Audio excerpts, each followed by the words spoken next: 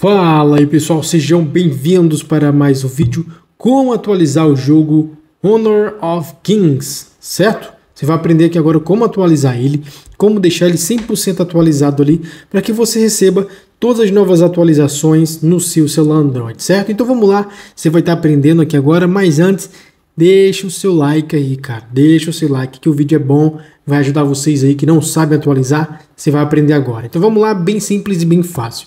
Vai subir aqui o menu dos seus aplicativos, vai vir aqui até Play Store, certo? Se você não sabe chegar até aqui, ó, nessa aba, o que, que você vai fazer? Vai chegar aqui na sua Play Store normal, né? Vai clicar aqui em cima e vai pesquisar por ele. Vamos digitar aqui Honor of Kings. Aqui, ó. Errei ali, mas deu certo para corrigir aqui. Vai clicar nele aqui e pronto, tá aqui o botão, tá vendo? Se o seu já tiver atualização, se a atualização já tiver chegado para você, vai estar tá assim, ó, certo? Então você vem aqui e clica em atualizar. Se atualizar, se não está assim ainda, pode ser que a atualização não tenha chegado para você, certo? Ainda, porque as atualizações não chegam para todo mundo de uma vez, ela vai aos pouquinhos, certo? Então é só clicar em atualizar e você aguarda agora, porque ele vai baixar a atualização, certo?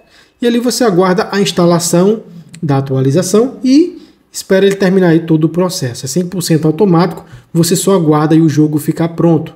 Honor of Kings aí bem famoso, bem top agora. Todo mundo jogando esse jogo aí, bem legal. E tá aqui para vocês como atualizar. Vamos aguardar ele terminar. E tá instalando aí a atualização, belezinha, ó, pronto.